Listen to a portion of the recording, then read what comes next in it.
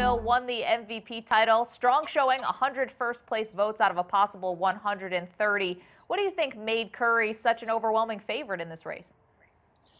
I think it was the fact that the Warriors season wasn't just a great year. They weren't just the best team in the league. It was really historic. I mean, they were they were just five games off the Bulls team that won 72 games with with with Pippen and Jordan. They were right there with the some of the best of the Celtics teams of the of the Bird, Parish, McHale era.